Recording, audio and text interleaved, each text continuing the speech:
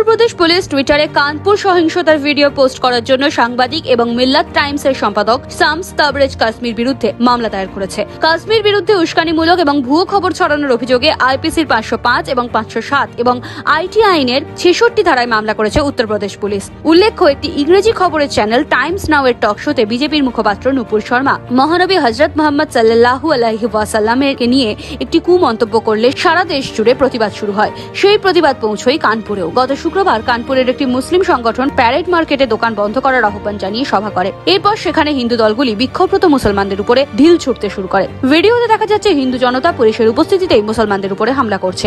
এই ঘটনার ভিডিও মিল্লাত টাইমসের সম্পাদক শামস তাবরেজ কাসমি তার টুইটারে শেয়ার করেন। এরপরেই এদিন তার বিরুদ্ধে মামলা দায়ের করে পুলিশ। ফোনে মক্তব মিডিয়ার সঙ্গে কথা বলার সময় কাসমি এই এফআইআর এর তীব্র নিন্দা করেছেন। তিনি এটিকে মিডিয়াকে ভয় দেখানোর প্রচেষ্টা হিসেবেও বর্ণনা করেছেন। ভিডিও শেয়ার করার জন্য শুধু শামস তাবরেজ কাশ্মীর বিরুদ্ধেই নয়, সেদিনে সেই সভা যারা আয়োজন করেছিলেন তাদের বিরুদ্ধে উত্তরপ্রদেশের বিজেপি সরকার মামলা দায়ের করেছে। মানবাধিকার কর্মীরা প্রতিবাদকারীদের উপরে মামলা দায়ের করাকে বৈষম্যমূলক আচরণ বলে উল্লেখ করেছেন। এছাড়াও প্রতিবাদ করা মানুষের সাংবিধানিক অধিকারের মধ্যেই পড়ে। তাই এই আচরণ একেবারেই গ্রহণযোগ্য নয় বলে উল্লেখ করেছেন মানবাধিকার কর্মীরা। Bureau report. NBTV.